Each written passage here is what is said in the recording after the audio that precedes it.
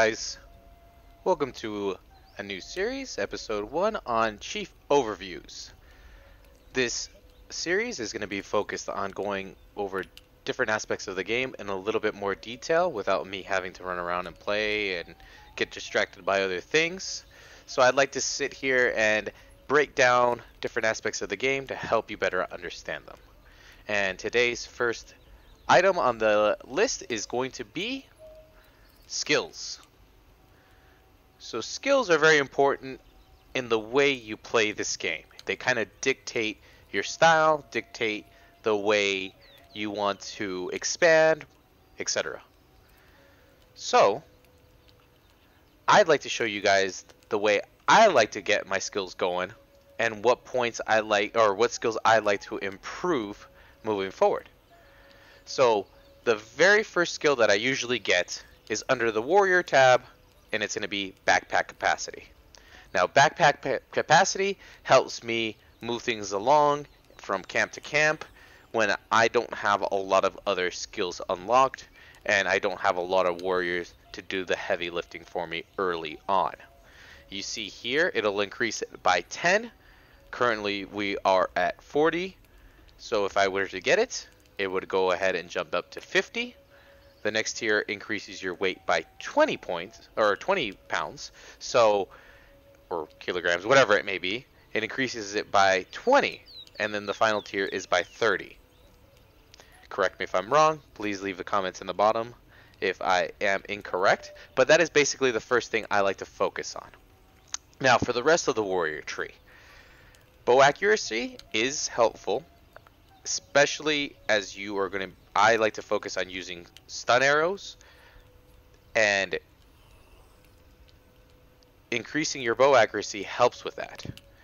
So stun arrows allow you to not kill your enemy, increase your reputation, get interrogation, or excuse me, you can't get interrogation after you stun them unless you wait around for them to get back up and then you go ahead and um, interrogate them, grab them, interrogate, and then you can intimidate.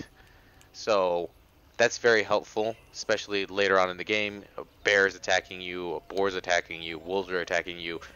Increased bow accuracy I like to carry around. I always stay strapped when I'm running around, so bow accuracy is really important.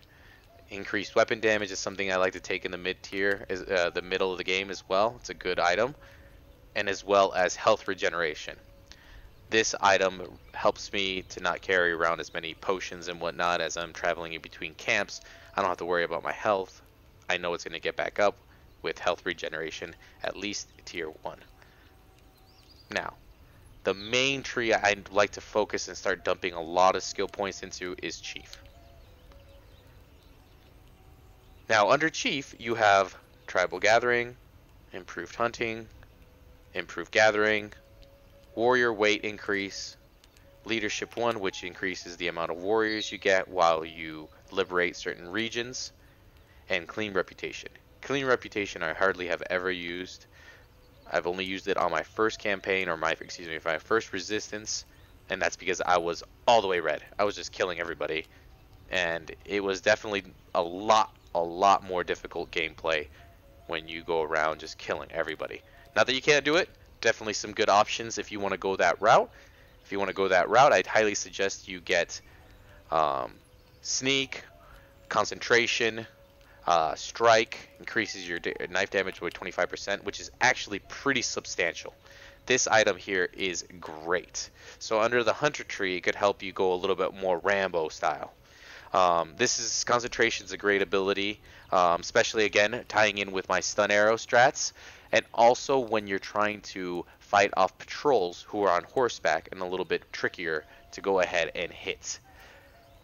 Also helps in situations where you have a large camp with large amounts of enemy and you're able to slow down, knock one guy out, go to the next one, knock another guy out. The only problem is that it uses stamina to go ahead and slow down time.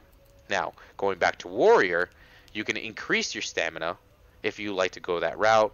Also increase your health in the next patch we're going to get an increased health anyways so this may become a little bit less useful tomahawk is great if you're going to go the rambo style uh, again not necessarily what I go for. I do take up Tomahawk. Um, I haven't grabbed the spear. It's kind of expensive. I would imagine the range on this bad boy is a lot better than the Tomahawk. So definitely a way to go if you want to just go around and gaining red reputation and taking out every paleface that you see. Now, the ones I like to focus, like I said, are bow accuracy, weapon damage, backpack capacity, and health regeneration. And maybe tomahawk somewhere down the line. Now, in later game, definitely nice to get your rifle accuracy up. I do like to use the native weapons. I try to keep it as native as I can for my personal use as I'm going around the map. For your warriors, many of them are going to be using rifles and other weapons as you collect pistols as you collect throughout uh, other camps and bring it back to your camps. And I, I equip them with those weapons to go out and attack a lot of the times.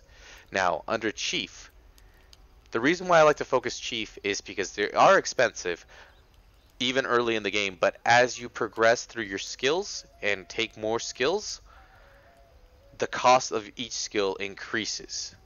So it slowly starts at first as you increase slowly, uh, getting skills in like improved hunting. Not only does that specific skill line increase for the next tier, also the rest of the uh, other skills also increase in the amount of skill points required to unlock them. So I like to get these a little bit earlier on as opposed to later, and it helps uh, with your expansion, progression, and camps, the amount of camps that you have. Now, here is the example, the reason why I like to go into improved hunting, at least tier 1, really early on in the game. And you can see this in my other web series, my other series, as I am going to be going through playthrough and walkthrough as I actually play through an entire resistance. So, Improved hunting allows your tribe members to find rare animal parts when hunting.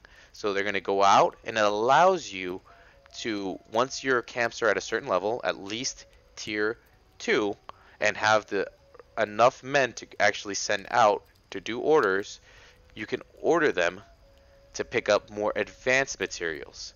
Those advanced materials are the ones that we need for boar tusk, stag's pelt, and buffalo pelt. Now, the higher tiered camps eventually all go to stag horns, uh, stag pelt, and uh, buffalo horn, I believe. I can't remember off the top of my head. I apologize. But those are all going to be tier. The highest tier, I think it's tier 3 improved hunting. So these skills will get expensive very fast, very early, and I like to just go ahead and dump the skill points into them right away, and that way they can get gathering the things I need to increase the size of my camps. And that plays along with my style that I will also increase leadership, get a lot of warriors starting to come to my lands, and if I don't in increase my camp size, they're going to get stuck. They're going to start leaving because they're going to be in overpopulated camps because it's going to take me forever by myself to get the materials needed to upgrade this camp, like the boar tusk. I need 20 boar tusks, 20 stag pelt. That also requires me to increase my hunting skill tree under skinning. Improves your chance to get pelts when skinning animals by up to 33%. So early on, you don't even have a great chance to even get any animal parts that you really need to upgrade your camps. So that's why I go ahead and let my warriors handle this increasing your resources is great. This could also be increased. Uh, gathering could also be increased through your war paints. So this is definitely an option to go in that route. So this route kind of all, this skill point tree, the way I get it, kind of helps me to synergize what I'm looking to do uh, by expanding and focusing on warrior gathering. Now, the last tree that I like to look at is a scouting tree, and these has this definitely has some useful items in it improved spyglass. Well, tier 1 is just the use of spyglass, which you can get to by using your E, and it'll show up here if you hold E. Improved spyglass helps with identifying members of enemy camps and helping you to more efficiently do your quests. There are sometimes that quests require you to not kill anybody other than intimidating the leader of a certain camp to get that area to be emptied out once you intimidate that specific leader. And sometimes you don't know which, obviously, most of the times you don't know who that guy is. And getting improved spyglass, the second tier will allow you to mark and get the names and the rank if it's a camp leader or just a peon in a camp. And you can go ahead and base what you do by taking out certain camps using the improved spyglass. Improved intimidation is another thing that I like to get. I like to get it to at least down to two seconds. Um, the next rank right here is the first rank is nine seconds. Second rank is five seconds. Third rank is two seconds. The last rank is one second. I at least like to get it to two seconds. The reason why is in the mid game, there's going to be bigger camps that you're running into, and if you use stun arrows to knock somebody out, or you just grab them and knock them out, their buddies can walk by, bump them, wake up, wake up, and then they'll know exactly where you are as soon as they wake up. They're alerted 100% to your presence, and it makes the camps the situation a lot more dangerous. So if you improve your intimidation, you can loot them and then intimidate them real quick and get them out of there without the enemy being alerted to your presence. For whatever reason, enemies never notice when their buddies are being intimidated and alerted to your presence. Now, detect enemies is another good one to use in my other series, you could see me using detect enemies on a couple occasions, and it's a good substitute to spyglass when you're already in and among them in the camp. So it's not actually too bad to use early on in the game. Improved grab is another thing you guys could consider. Right now, grabbing an enemy that's already engaged with you is 16%. So they need to be lower than 16% health in order for you to grab them once you're already fighting them. This increases that health to 30%. So you only need to get them down to 30% so you don't accidentally kill somebody that you're not meaning to kill.